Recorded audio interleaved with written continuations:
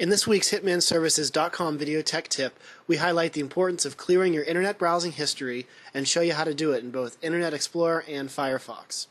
Internet browsing history consists of several different types of files, some of which you see here on your screen. It's important to clear these files from time to time for a couple of reasons.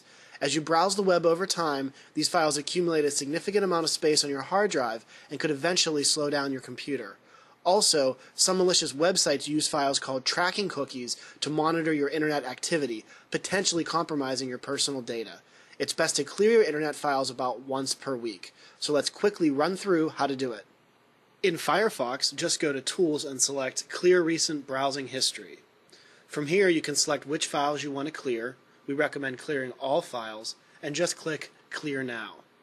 Likewise, in Internet Explorer, go to Tools and select Delete Browsing History. Again, pick which file type you wish to clear and click Delete.